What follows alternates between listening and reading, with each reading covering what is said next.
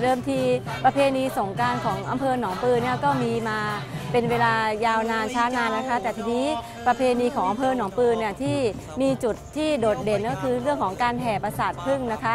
การแห่ประสาทพึ่งของอำเภอหนองปือเป็นประเพณีที่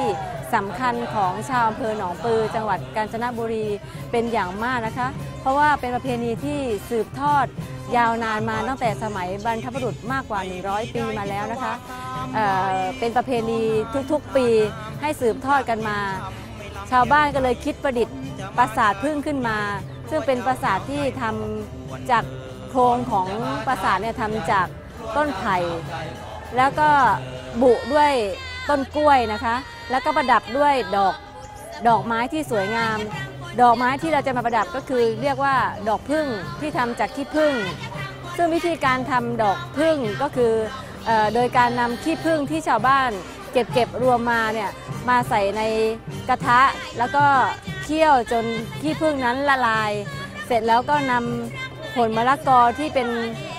มะละกอดิบผลเล็กๆเนี่ยเเดิมทีเนี่ยจะมาแกะสลักเป็นรูปดอกไม้ที่สวยงาม แล้วก็เอารูปที่แกะสลักนั้นน่ะไปจุ่มในขี้ผึ้งที่ละลาย เสร็จแล้วก็เอามาจุ่มในภาชนะที่ใส่น้ำเย็นอยู่ ก็จะออกเป็นดอกพึ่งนะคะ โดย ดอกพึ่งที่ทำก็จะมีเกสรซึ่มีไม้ประดิษฐ์ด้วย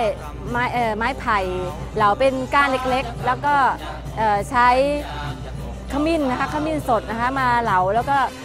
เสียบเป็นเกสรของดอกพึ่ง แล้วก็นำไปประดับที่ปราสาทพึ่งให้เกิดความสวยงาม หลังจากนั้นชาวบ้านก็จะนำประสาทพึ่งแห่ไปตามหมู่บ้านนะคะเพื่อที่จะให้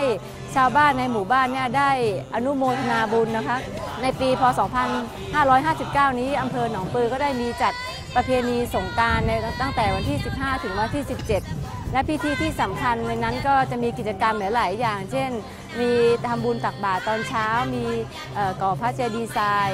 มีส่งน้ำพระพุทธส่งน้ำพระสงฆ์แล้วก็มี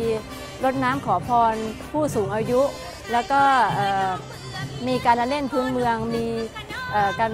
การแสดงวิถีชีวิตประเพณีวัฒนธรรมพื้นบ้านของอำเภอหนองปือ สิ่งที่สำคัญที่สุดที่ในบ่ายสองของวันที่ 17 ก็คือจะมีพิธีแห่ปราสาทพึ่งนะคะไปตามหมู่บ้านแล้วก็จะมีขบวนรถที่ทั้งภาครัฐภาคเอกชนทั้งของอำเภอขององค์กรปกครองส่วนท้องถิ่นทุก ๆ แห่งที่ของอำเภอหนองปือก็จะมาร่วมในขบวนแห่ใน